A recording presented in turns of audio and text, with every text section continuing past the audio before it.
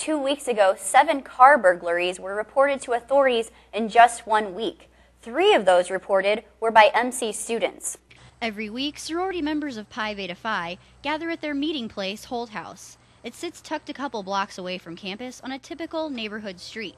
It wasn't until the meeting was over that the girls realized they didn't hear a thing when three of them were robbed. We came out and there was a brick sitting in my front seat. The girls were victims to a rash of car burglaries that have been ongoing throughout January and February.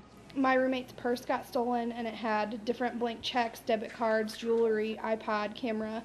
Local authorities find the nature of these incidents to be cyclical. It, it wasn't unusual to have that many that close together, but if you string them along with the rest of them we've had, uh, they are, uh, for the most part, similar.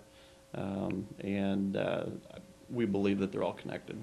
Local businesses like Glass Plus have been busier than usual. We've seen a lot of activity the last couple of days here just with the vandalisms and so forth. Authorities say it's simple.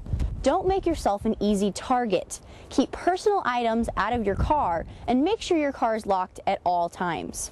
Latora also found it unusual that only her friend's personal items were stolen and not hers. It doesn't seem right, and they didn't even take my iPod was sitting right next to Gail's purse, but they didn't take my iPod. My cell phone was sitting right next to it. They didn't take my cell phone. I had CDs in my car. I had different, th- a ton of things in my car, and nothing got taken of mine. Latora was disappointed with the way authorities handled the situation. They really honestly didn't say anything.